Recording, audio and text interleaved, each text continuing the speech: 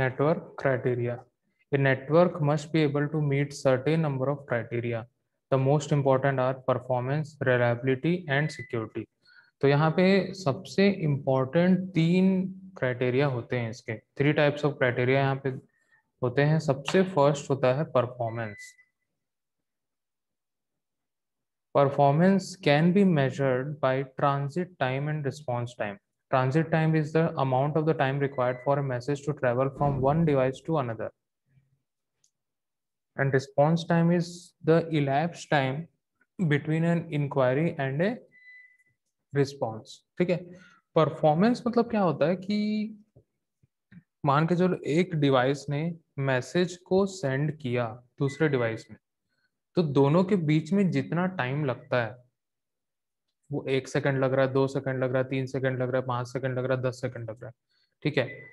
तो उसको हम लोग बोलते हैं यहाँ पे ट्रांजिट टाइम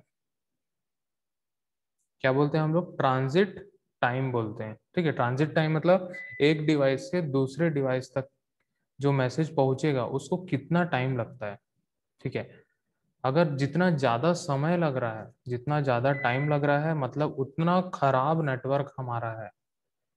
ठीक है? मतलब नेटवर्क की परफॉर्मेंस जो होगी वो बिल्कुल भी अच्छी नहीं होगी। ठीक है? और जितना फास्ट मैसेज ट्रेवल होगा उसमें, जितना फास्ट मैसेज डिलीवर होगा, ठीक है, उतना ही हमारा नेटवर्क का परफॉर्मेंस जो है वो अच्छा होगा। ठीक है? तो performance is the most important factor in the computer network ठीक है? नेक्स्ट आता है रिस्पॉन्स टाइम रिस्पॉन्स टाइम किसको बोलते हैं? हमने कुछ भी क्वेरी किया ठीक है? जैसे मान के चलो हम सर्वर से या फिर जो भी हमारा वेब पोर्टल है या फिर आ, दूसरे डिवाइस से हम लोग कुछ ना कुछ इंक्वायरी किए ठीक है? जैसे ही हमने इंक्वायरी किया और वहाँ से रिस्पॉन्स आया ठीक है? दोनों में कितना टाइम लगा? मतलब इंक्वायरी से लेके वापस रिस्पॉन्स आने तक। पूरा का पूरा। उसको हम लोग बोलते हैं यहाँ पे रिस्पॉन्स टाइम ठीक है? तो रिस्पॉन्स टाइम जितना ज़्यादा होगा, उतना ही ज़्यादा खराब परफॉर्मेंस होगा अपने नेटवर्क का। ठीक है? अब सीधी सी बात है, जैसे मान के चलो हम लोग कोई भी एक नेटवर्क चला रहे एक कंप्यूटर से दूसरे कंप्यूटर में कोई भी मैसेज भेज रहे हैं, हम लोग सेंड तो कर दिए, कोई ठिकाना नहीं है उसका डिलीवर होगा कि नहीं होगा। ठीक है? तो इस केस पे क्या होगा क्राइटेरिया उसका? मतलब जो उसका परफॉर्मेंस होगा बहुत खराब होगा, ठीक है? वैसे ही अगर हम लोग कोई ऐसा नेटवर्क बनाते हैं जिसमें जो परफॉर्मेंस होता है, ठीक है, वो बहुत अच्छा होता है। मतलब जो मैसेज हम लोग भेज रहे हैं, यहाँ से भेजे और उधर पहुँच जाए, ठीक है? मतलब एकदम नैनो सेकेंड्स नैनो सेकेंड्स भी नहीं लगना चाहिए उसको पहुँचने में, ठीक है? मतलब जो कनेक्शन होगा, वो इस प्रकार से हम लोग लगाएँगे। तो ये सारा परफॉर्मेंस कैसे बढ़ेगा? इसको हम लोग कैसे बढ़ा सकते हैं? देखो इसको हम लोग ऐसे बढ़ा सकते हैं कि हम लोग जो डिवाइसेस इसमें लगाएँगे ठीक है? डिवाइसेस मतलब हम लोग यहाँ पे आ, हम लोग का नेटवर्क कार्ड होगा। सबसे पहले नेटवर्क कार्ड होता है ठीक है? नेटवर्क कार्ड जो होता है कंप्यूटर में लगा होता है ठीक है? नेटवर्क कार्ड होगा या फिर हम लोग वायरलेस यूज़ कर रहे हैं तो वायरलेस का जो बैंडविथ होना चाहिए ठीक है? सबसे पहला फैक्टर वही है कि दोनों के बैंडविथ बहुत अच्छे होने चाहिए और जो मैक्सिमम बैंडविथ है वो सपोर्ट करना चाहिए, ठीक है? तो आज तक दो बैंडविथ चलते हैं, ठीक है? 2.5 गीगाहर्ट्ज और 5 गीगाहर्ट्ज ठीक है?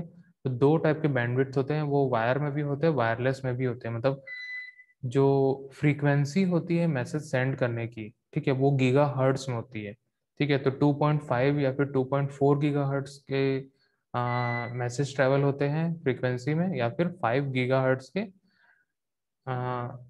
फ्रीक्वेंसी में जो है मैसेज ट्रेवल होते हैं, ठीक है? और जो नेटवर्क डिवाइसेस हम लोग यूज़ करेंगे, जैसे स्विच रूटर ठीक है? तो ये सारे डिवाइसेस जो हम लोग यूज़ करेंगे, वो क्या होगा? बहुत बेस्ट क्वालिटी का होना चाहिए। मतलब उसमें जो रूटर कॉन्फ़िगरेशन हम लोग करेंगे, ठीक है? या फिर स्विच का जो हम लोग कॉन्फ़िगरेशन करेंगे, वो जो उसका एल्गोरिथम होता है, ठीक है, बहुत अच्छा होता है, ठीक है। जैसे हम लोग लोकल कंपनी का ले आए फिर ऐसी टेम्परेरी हम लोग ले आए, ठीक है तो उसका परफॉर्मेंस उतना अच्छा नहीं देगा, ठीक है। कुछ कुछ बेस्ट कंपनीज़ है, जैसे सिस्को है डी लिंक है, ठीक है। तो ये सारे जो कंपनीज़ है, जो रूटर्स बनाते हैं स्विचेस बनाती है, जो भी नेटवर्क डिवाइसेस बनाते हैं तो ये बहुत बेस्ट क्वालिटी का होता है जो इनका एल्गोरिथम्स भी होते हैं वो काफ़ी अच्छे होते हैं और बहुत सारे डायनेमिक फंक्शनैलिटी भी इसमें मिलती है। तो नेटवर्क के लिए उसका परफॉर्मेंस सबसे इम्पोर्टेंट होता है। अगर उसका परफॉर्मेंस नहीं है तो कोई मतलब नहीं है। जैसे कि आ, मैं एग्जांपल देता हूँ। जब ने जियो ने लॉन्च किया था अपना 4G नेटवर्क ठीक है? 4G नेटवर्क जब लॉन्च किया था तो बहुत फास्ट चलता था काफ़ी फास्ट चलता था। जैसे जैसे उसके यूज़र्स बढ़ते गए जैसे जैसे यूज़र्स जो है बढ़ते गए, ठीक है तो क्या हो गया? उसका नेटवर्क जो है वो वीक होने लग गया। वीक नहीं हुआ एक्चुअली नेटवर्क बहुत अच्छा था, लेकिन उसकी परफॉर्मेंस वीक हो गई। क्योंकि उसने जो डिवाइस लगाया था, वो एक्सपेक्ट नहीं किया था कि इतना ज़्यादा यूज़र एक साथ आ जाएँगे। लेकिन आज के डेट में देख लो, आज के डेट में बहुत अच्छा जियो ने अपना कवर अप कर लिया है। और काफ़ी अच्छा नेटवर्क हर जगह मिल रहा है। मतलब जहाँ पे बहुत नेटवर्क कम भी रहेगा, वहाँ भी बहुत अच्छा चल रहा है। ठीक है तो ये सब टेक्नोलॉजीज़ जो है, जितनी ज़्यादा हम लोग यूज़ करेंगे, उतनी ही ज़्यादा हम लोग का नेटवर्क जो है वो स्मूथ चलेगा। The performance of a network depends on the number of users the type of transmission medium and the capacities of the connected hardware and the efficiency of the software ठीक है? तो यहाँ पे जो परफॉर्मेंस है वो किस किस पे डिपेंड करता है? नंबर ऑफ़ यूज़र्स पे कितने यूज़र जो है उस नेटवर्क से कनेक्टेड है, ठीक है? ट्रांसमिशन मीडियम जो भी उसमें नेटवर्क डिवाइसेस कनेक्टेड है, चाहे वो वायर्ड हो या वायरलेस हो, ठीक है? परफॉर्मेंस जो होती है वायर्ड में सबसे ज़्यादा मिलती है, ठीक है? वायर्ड अगर हम लोग यूज़ करते हैं तो कंटिन्यूस कनेक्शन होता है। अगर हम लोग वहीं वायरलेस यूज़ करते हैं तो कनेक्शन तो हम लोग को मिलता है। लेकिन सिग्नल अप डाउन होते रहता है, ठीक है?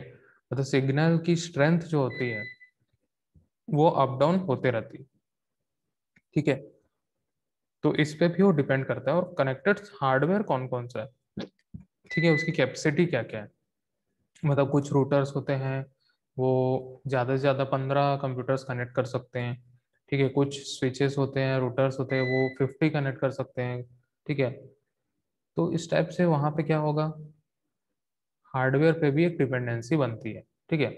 और सॉफ्टवेयर कौन कौन से यूज़ कर रहे हैं वहाँ पे, उस पर भी डिपेंड करता है, ठीक है? कभी कभी हार्डवेयर अच्छा नहीं है, लेकिन सॉफ्टवेयर हमारे पास बहुत अच्छा है तो वो क्या करता है? सारा चीज़ को मेंटेन कर देता है, ठीक है? लेकिन अगर सॉफ्टवेयर भी हमारे पास खराब है और हार्डवेयर भी हमारे पास खराब है तो हम कुछ नहीं कर सकते और नेटवर्क अच्छा नहीं चलेगा। ठीक है? और हमें बहुत सारी परेशानी होगी। ठीक है? तो फ़र्स्ट पॉइंट था परफॉर्मेंस सेकंड पॉइंट था रिलायबिलिटी ठीक है? Reliability reliability is measured by the frequency of failures the time it takes a link to cover from failure and the network robustness in a catastrophe अब reliability का मतलब क्या है यहाँ पे? ठीक है रिलायबिलिटी मतलब होता है फ्रीक्वेंसी ऑफ़ फेलियर्स को काउंट करते हैं यहाँ पे, ठीक है। कितने बार नेटवर्क फेल हुआ? हमने कोई भी एक नेटवर्क बनाया, हो सकता है कुछ रूटर में दिक्कत हो, या कुछ रूटर के कॉन्फ़िगरेशन में दिक्कत हो, ठीक है, या फिर कनेक्शन में दिक्कत हो, ठीक है। हमने वायर में कनेक्शन किया, हो सकता है जैक ढीला हो जैक खराब हो जैक में जंग लग गया हो, ठीक है, या फिर वायर कट गया हो ठीक है? कुछ भी हो सकता है नेटवर्क में, ठीक है? या फिर कभी कभी रूटर्स के पोर्ट खराब हो जाते हैं, ठीक है? तो ये सारा चीज़ जो है नेटवर्क फेलियर में आता है। कभी कभी पावर भी कट हो जाएगा, ठीक है? तो उसके लिए भी प्रॉपर हम लोग को अरेंजमेंट करने होते हैं, ठीक है? तो नंबर ऑफ़ फेलियर्स को यहाँ पे काउंट करते हैं। कितने बार वो फेल हुआ, ठीक है? जैसे कि मान के चलो रियल टाइम एग्जांपल बताता हूँ, ठीक है? जैसे हम लोग के कॉलेज में कभी कभी कुछ कुछ बैंक्स के या फिर जो कॉम्पिटेटिव एग्ज़ाम्स के आ, मतलब ऑनलाइन एग्ज़ाम्स कंडक्ट करते हैं यहाँ पे ठीक है? तो उसके दो दिन पहले से यहाँ पे क्या करते हैं? एक डेमो होता है। डेमो मतलब सिस्टम की परफॉर्मेंस चेक करते हैं कि वो सिस्टम जो है दिन भर चलने लायक है या नहीं है ठीक है? एक परफॉर्मेंस चेक किया जाता है ठीक है? तो उससे क्या होगा? हमें पता चल जाए कि नेटवर्क और सिस्टम ठीक है? और जो भी हार्डवेयर लगा है, उसका परफॉर्मेंस क्या है? वहाँ पे एक परफॉर्मेंस इंडेक्स बनाया जाता है, ठीक है? उनके पास एक पर्टिकुलर सॉफ्टवेयर होता है, हर कंप्यूटर पे उसको इंस्टॉल किया जाता है ओवर द नेटवर्क ठीक है? तो और उससे ही चेक किया जाता है कि उसमें रैम सही है या नहीं है सीपीयू कौन सा लगा है हार्ड डिस्क कैपेबल है या नहीं है, उसकी स्पीड क्या है ठीक है नेटवर्क की कितनी स्पीड है, वो लगातार पिंग करते रहता है, कितनी मैक्सिमम स्पीड मिल रही है, ठीक है? तो वो सारा चीज़ें चेक किया जाता है। तो ये सारी चीज़ें जो है, वो रिलायबिलिटी को शो करती है किसी भी नेटवर्क के लिए, ठीक है? मतलब अगर मान के चलो कोई भी नेटवर्क फेल होता है, ठीक है, वो कितना टाइम लेता है रिकवर करने में, ठीक है? उस पर भी डिपेंड करता है। मान लो कि एक सिस्टम फेल हो गया, या फिर उसका जो नेटवर्क कार्ड है, वो कभी हो सकता है, क्योंकि उसमें भी सॉफ्टवेयर डले होते हैं। कभी हो सकता है उसमें इंटरनल एरर आ जाए तो नेटवर्क जो कार्ड है वो थोड़ी देर के लिए बंद हो जाए। ठीक है? फिर उसको या तो रिस्टार्ट करेंगे या तो इनेबल डिसेबल करेंगे। ठीक है? तो उस पर भी डिपेंड करता है। तो फेलियर से रिकवर होने में कितना टाइम लगता है, उस पर भी डिपेंड करता है। ठीक है? और नेटवर्क रोबस्टनेस रोबस्टनेस मतलब क्या होता है कि नेटवर्क कितना बल्कि है। ठीक है? अब नेटवर्क बल्कि कैसे बनेगा यहाँ पे?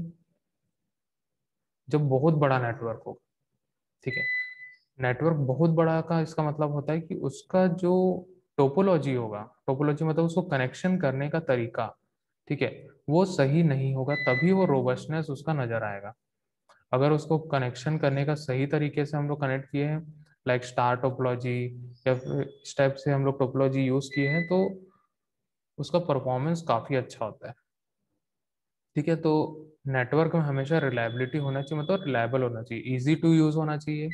ठीक है, सारे डिवाइसेस जो है उसका परफॉर्मेंस अच्छा होगा तो ऑलरेडी उसकी रिलायबिलिटी जो है बढ़ जाएगी। ठीक है, और फ्रीक्वेंसी ऑफ़ फेलियर्स और उससे जितने जल्दी वो रिकवर कर सके। ठीक है तो सेकंड इंपॉर्टेंट फैक्टर है reliability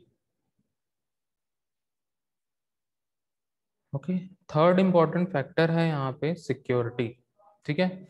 नेटवर्क में सिक्योरिटी सबसे ज़्यादा इम्पोर्टेंट होता है, ठीक है? अगर किसी भी नेटवर्क में सिक्योरिटी नहीं है तो उसमें कोई भी अनऑथराइज एक्सेस करके हमारे डेटा को चुरा सकता है या एक्सेस करके उसको बदल सकता है मॉडिफाई कर सकता है या फिर उसमें कुछ ऐसा प्रोग्राम इंस्टॉल कर सकता है जो हमारे कंप्यूटर सिस्टम के लिए, हमारे डेटा के लिए बहुत हानिकारक हो सकता है।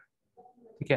तो इसीलिए हम लोग नेटवर्क में सबसे पहले अगर हम लोग इंस्टॉल करते हैं सबसे पहले सिक्योरिटी भी इंस्टॉल की जाती है उसमें।